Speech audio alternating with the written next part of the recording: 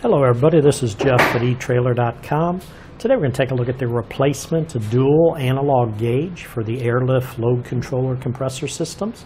Now this will replace the dual analog gauge on the Air Lift load controller compressor system.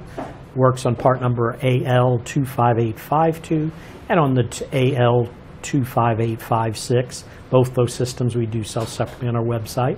They do come with this gauge. This is a nice compact gauge provides detailed monitoring of your air pressure. It is a space-saving gauge, can be mounted whichever way works best for you. It is a two-inch diameter. It is a dual needle design, so there's a needle, a red needle on this side that'll register up to 100, and on this side from 0 up to 100. It is a white face gauge, has a nice chrome bezel. They use black numbers, and as I mentioned, the red pointer on it. It is a lighted gauge, so when this is installed, when you turn a, your, your ignition switch on, it will light up the gauge.